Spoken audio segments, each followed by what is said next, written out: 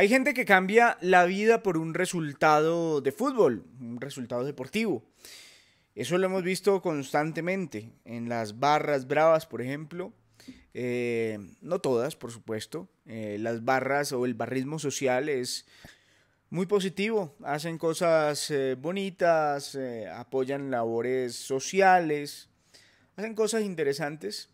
entonces no voy a estigmatizar a todas las barras. Pero hay unas barras que sí son realmente unas especies de bacrim. Y de hecho, pues en algún momento eh, algunos barristas hablaron de alas militares, como si estuviéramos hablando de grupos al margen de la ley, como si estuviéramos hablando de grupos terroristas. Y eso pues ha venido normalizándose en algunos sectores de, de hinchas en las redes sociales, de hinchas que no son violentos, pero que de alguna manera ven con beneplácito que existan este tipo de eh, comunicaciones que intentan amedrentar, que intentan violentar a algunos que no estamos de acuerdo con que se les dé gusto eh, a, estos, a estos actores armados dentro del mundo deportivo donde no deberían tener ninguna cabida. ¿Por qué hago esta introducción? Em, porque durante las últimas horas, el Deportivo Cali, primero vamos por partes, publicó el Deportivo Cali lo siguiente. Voy a moverme un poco para acá porque lo tengo al frente el comunicado.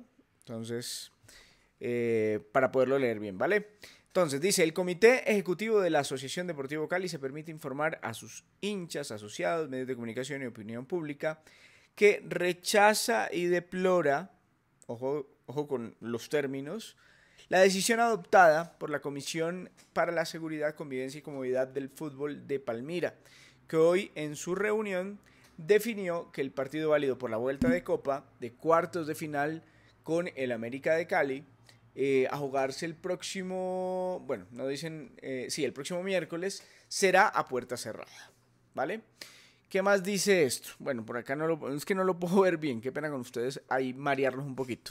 Entendemos que las eh, autoridades que componen dicha comisión deben velar por la seguridad y la convivencia en el estadio, pero también entendemos que por unos pocos aficionados que no tienen un buen comportamiento, no puede verse afectada la mayoría de los asistentes al estadio. Invitamos a la comisión que revalúe su decisión y los invitamos a que se realice una nueva reunión, ojalá hoy mismo, en la que se establezca ciertas condiciones para que el partido en mención pueda tener asistencia del público. Una, vez más, invitamos a vivir el fútbol en paz. Ese fue el comunicado del Deportivo Cali. Que está en todo su derecho de decir que no están eh, de acuerdo con la decisión de la comisión. Yo no digo que no. Pero me parece que el lenguaje, eso de que deploramos, por favor, deploramos deplorable es el comportamiento de quienes incluso en el partido con equidad en septiembre pasado, cuando habían sancionadas o estaban sancionadas algunas tribunas del Estadio Deportivo Cali, fueron y atentaron contra la integridad de la producción de la móvil del canal Win. Eso sí, es deplorable. Ojo con el lenguaje. Demasiado, pues para una simple decisión administrativa que yo sé que tiene implicaciones económicas, que yo sé que puede tener implicaciones deportivas también, porque uno con su hinchada seguramente tendría más motivación, pero wow, me parece que deplorable solamente los actos que hemos visto de violencia en ese estadio. Ahora, es cierto lo que dice el Deportivo Cali, que no, no por todos tienen que pagar, eh, no por unos pocos tienen que pagar todos. Eso es cierto. Pero los argumentos, primero, eh, de seguridad, pues me parece que eh, habría o valdría la pena revisarlos.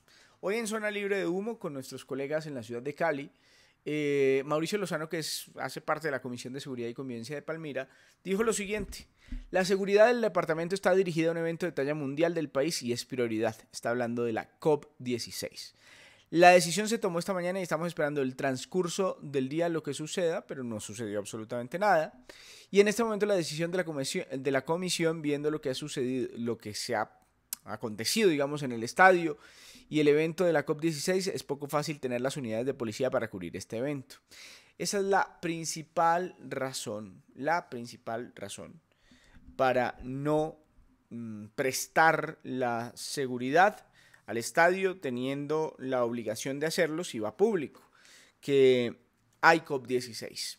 Entonces ustedes me dicen, pero con el América sí, con el América eh, sí, sí, sí tuvieron la, eh, la obligación de ir y prestar la seguridad en el Pascual Guerrero, sí, porque no hay COP o no hubo COP. Y América regresará al Pascual Guerrero hasta cuando se vaya la COP. Entonces, es cuestión de sentido común. Miren ustedes que en el, en el, en el gobierno nacional tuvieron que sacar una comunicación firmada por el presidente de la República, Gustavo Petro, hablando de las garantías que iba a dar el Estado colombiano a los asistentes a la COP16. ¿Por qué? Porque el, uno de los máximos cabecillas de la disidencia de las FARC dijo hace pocos días que mejor que no viniera nadie a la COP16 porque ellos no iban a garantizar la seguridad, porque cualquier cosa podía pasar. Imagínese con ese nivel ¿no? de riesgo eh, usted eh, llevar policías a un evento deportivo. Ahora, ¿por qué yo decía hace unos minutos cuando estaba iniciando este video que algunos ponían por encima de cualquier cosa un resultado de un partido de fútbol? Porque muchos en Twitter me han dicho es que usted es de América y entonces usted quiere que el partido no se juegue con público porque entonces es una ventaja para la América. Puede que sí, puede que no. Incluso estaba viendo ya en los partidos que a puerta cerrada al Deportivo Cali le ha ido mejor. Pero eh, teniendo esta coyuntura, no me parece responsable tener público. Es más, ¿qué tal una idea de un hincha del América? No, de un periodista. Porque es que yo no me puedo dejar simplemente encasillar en que mis opiniones están sujetas a intereses del América. El América hoy es el líder del campeonato, ganó por 2 por 0, tiene esa llave al 50%. Entonces, no me digan que lo hago pensando en el América. Tampoco es que tampoco es que el Cali no le pueda dar vuelta, claro, en el fútbol pasan muchas cosas, pero si es por eso, pues la ventaja deportiva hoy la tiene América. Ahora, ¿por qué no aplazan el partido? ¿Por qué no aplazar el partido?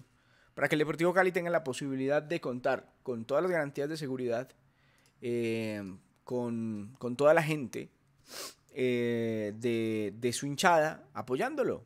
Me parece tranquilamente viable.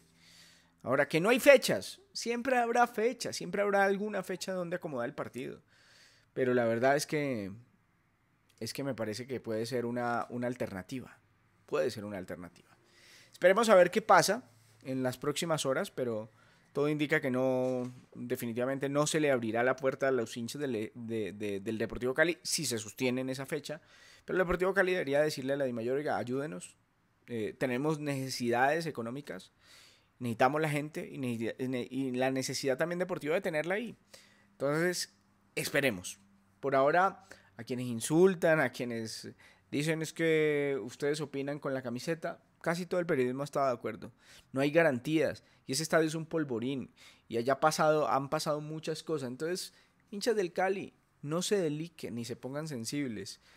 Eh, más bien miren los hechos. Miren las razones y los argumentos que se dan cuando se opina. Porque aquí lo fácil es qué, qué color de camiseta tienes. No, por eso es que hay atentados contra la gente eh, hay en los barrios heridos por llevar una camiseta, eh, hay violencia en el fútbol y normalizamos todo simplemente por el color de la camiseta del otro. Terrible la situación y terrible que se normalice.